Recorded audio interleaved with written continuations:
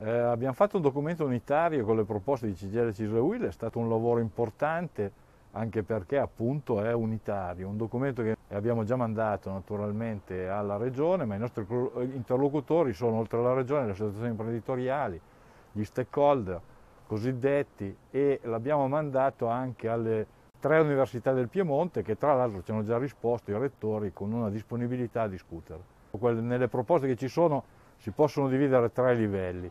Il primo livello è quello riferito ai fondi europei.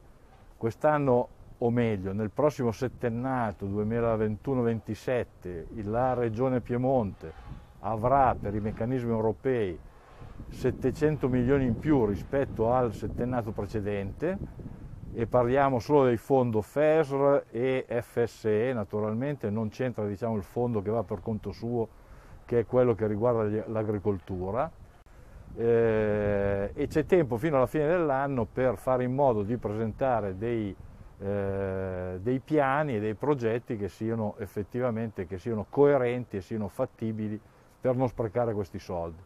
Poi c'è il pezzo che riguarda il PNRR che però naturalmente deve avere una, una regia e dovrà essere fatto a livello nazionale, su quello poi vedremo una volta fatto quali saranno i riflessi di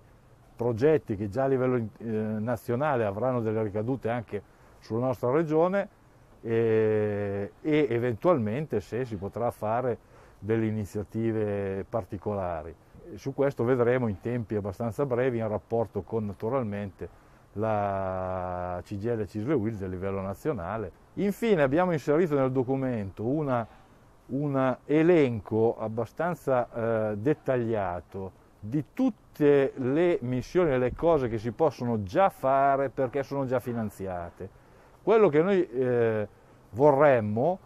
eh, istituendo un vero e proprio comitato di monitoraggio, è togliere dal campo tutte quelle inutili polemiche che vengono fatte dalla,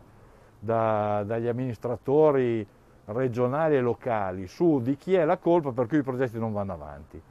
Eh, ci siamo un po' stufati di questo rimbalzo di, eh, di responsabilità,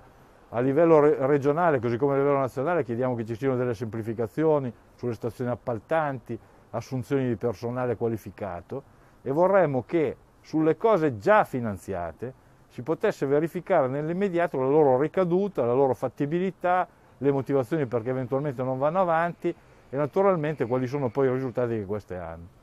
Infine poniamo un problema che per la nostra regione è fondamentale. Parliamo dell'industria manifatturiera che ha un ruolo molto grande nella nostra regione, molto importante. Abbiamo fatto dei passi indietro, abbiamo situazioni variegate perché non tutto il Piemonte è, è, è uguale, ci sono specializzazioni importanti che vanno dal tessile, che è molto in crisi e che si spera che poi con la fine diciamo, della pandemia sia uno di quei settori che riesce velocemente a riprendere, ma non lo sappiamo. Parliamo della, delle imprese invece dell'alimentare che sono molto forti in regione, specialmente in alcune eh, realtà eh, come quella del Cuneese e con multinazionali piemontesi importanti, multinazionali italiane, la Lavazza Torino, la Ferrero ad Alba, eccetera. Infine c'è il problema dei problemi, mettiamolo così, cioè quello relativo alla specializzazione sull'automotive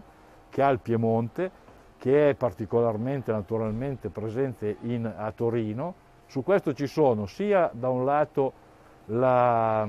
la modifica societaria, quindi la, la, creazione di Stellantis, bisogna capire appunto questa, questa, questa modifica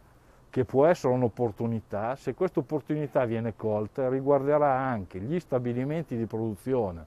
di Torino e tutto il pezzo dell'indotto, che è un pezzo fondamentale, molto consistente, con parecchie migliaia di occupati nella regione. Abbiamo cioè la possibilità che le due rivoluzioni, quella verde e quella tecnologica, che comunque ci sarebbero state,